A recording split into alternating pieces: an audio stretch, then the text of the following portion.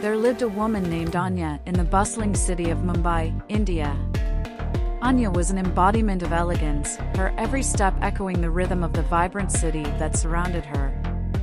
With dusky skin that glowed like warm caramel, she moved through the crowded streets with a captivating grace that turned heads and left lingering gazes in her wake. Anya's wardrobe was a testament to her refined taste, draped in vibrant saris that accentuated her curves and highlighted the allure of her traditional Indian features. She had a magnetic presence that drew people in, a subtle confidence that spoke of a woman who knew the power of her own beauty.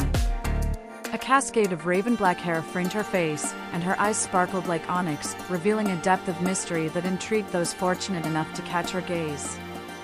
In the heart of Mumbai, Anya frequented the city's most sophisticated social gatherings. Whether it was an exclusive cocktail party or a high profile event, she effortlessly stole the spotlight with her poise and charm. Anya's laughter resonated through the grand ballrooms, leaving an indelible mark on the memories of those fortunate enough to share a moment with her. She was more than a woman of beauty, she was a symbol of timeless elegance in the vibrant tapestry of Mumbai's social scene.